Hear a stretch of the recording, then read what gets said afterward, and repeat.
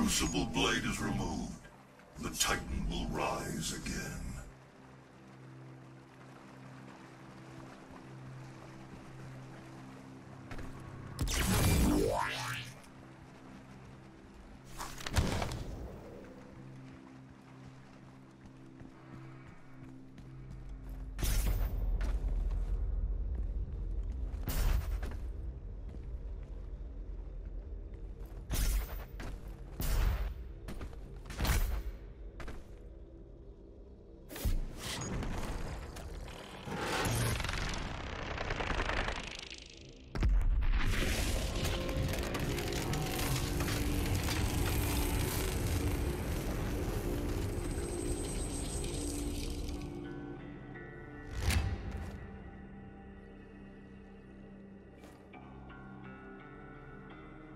Vault should contain what you need.